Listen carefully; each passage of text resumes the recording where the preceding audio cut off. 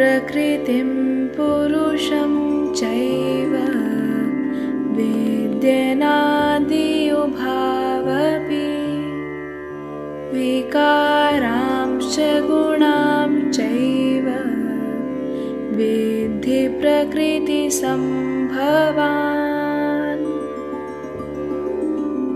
प्रकृति और पुरुष इन दोनों को ही तो अनादि जान और राग द्वेष आदि विकारों को तथा त्रिगुणात्मक संपूर्ण पदार्थों को भी प्रकृति से ही उत्पन्न जान। कार्यकरणकर्तृत्वे हेतुः प्रकृतिरुच्यते।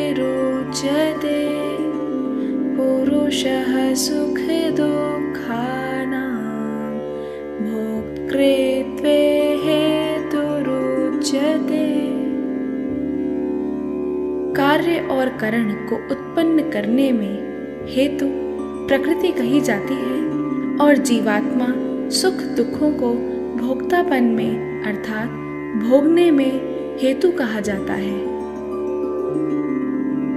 पुरुषः प्रकृतिस्थो हि भुङ्क्ते प्रकृतिजान् गुणान्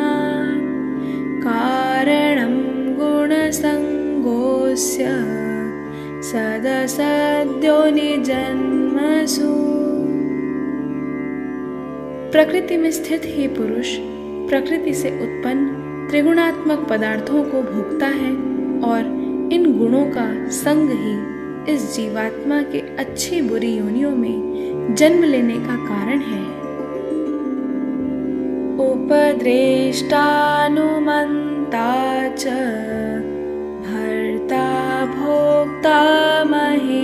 महेश्वरः परमात्मेति चापयुक्तो देहस्मिन् पुरुषः परः। इस देह में स्थित यह आत्मा वास्तव में परमात्मा ही है। वह साक्षी होने से उपदृष्टा और यथार्थ सम्मति देने वाला होने से अनुमंता सबका धारण पोषण करने वाला होने से भरता, जीव रूप से भोक्ता ब्रह्मा आदि का भी स्वामी होने से महेश्वर और शुद्ध सच्चिदानंद घन होने से परमात्मा, ऐसा कहा गया है। य एवं वेत्ति पुरुषं प्रकृतिं च गुणैः सह सर्वथा वर्तमानोऽपि न स भूयोऽभिजायते इस प्रकार पुरुष को और गुणों के सहित प्रकृति को जो मनुष्य तत्व से जानता है, वह सब प्रकार से कर्तव्य कर्म करता हुआ भी फिर नहीं जन्मता। ध्यानेनात्मनि पश्यन्ति केचिदात्मानमात्मना अन्ये साङ्ख्येन योगेन कर्मयोगेन चापरे।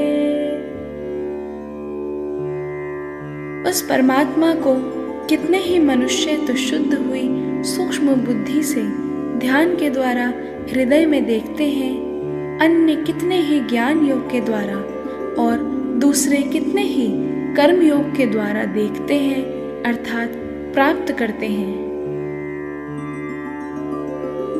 अन्ये त्वेवमजानन्तः श्रुत्वान्येभ्य उपासते, तेऽपि चातितरन्त्येव मृत्युं श्रुतिपरायणः परंतु इनसे दूसरे, अर्थात जो मंद बुद्धि वाले पुरुष हैं, वे इस प्रकार न जानते हुए दूसरों से, अर्थात तत्व के जानने वाले पुरुषों से सुनकर ही तदनुसार उपासना करते हैं और वे श्रवण परायण पुरुष भी मृत्यु रूप संसार सागर को निसंदेह तर जाते हैं।